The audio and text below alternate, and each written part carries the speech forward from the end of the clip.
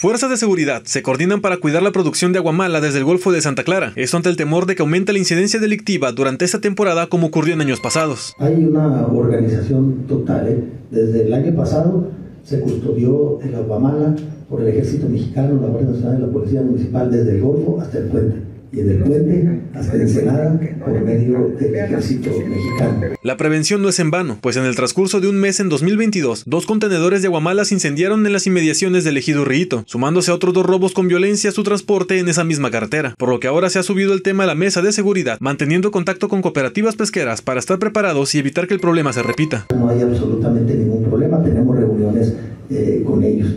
Sí, estamos totalmente solidarios y coordinados con ellos, es lo que te puedo decir. No hay absolutamente ningún problema. ¿No hay riesgo, alcalde, que se pierda esa pesquería? Absolutamente, ninguna. En materia de seguridad, también se presumió la próxima adquisición de cuatro patrullas nuevas y otras seis del año 2014, además de la llegada de armamento para la policía municipal, esperando que con esta coordinación y equipamiento se logre proteger la producción de Guamala, que representa una derrama económica para la región superior a los 160 millones de pesos.